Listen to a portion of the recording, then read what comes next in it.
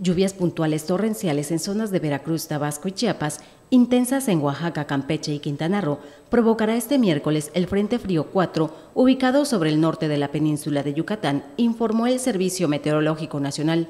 Por su parte, el Instituto de Protección Civil del Estado emitió un aviso precautorio ante las precipitaciones de hasta 250 milímetros que se podrían presentar en Tabasco, principalmente sobre el sur y occidente de la entidad.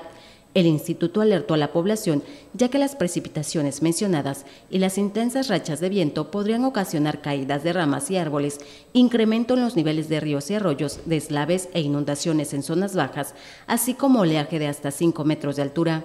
Detalló que se presentarán rachas de viento sobre la costa de la Chontalpa, junto con lluvias moderadas, alcanzando acumulados máximos de entre los 75 a 150 milímetros, principalmente sobre la Chontalpa y pantanos, y aisladas en la sierra y centro, para la subregión de los ríos se esperan acumulados generales de 25 a 50 milímetros. Protección Civil señaló que dicha condición se espera se mantenga hasta el día jueves. La masa de aire frío asociada al frente mantendrá evento de norte muy fuerte a intenso en el litoral del Golfo de México, Istmo y Golfo de Tehuantepec. Noticias TVT.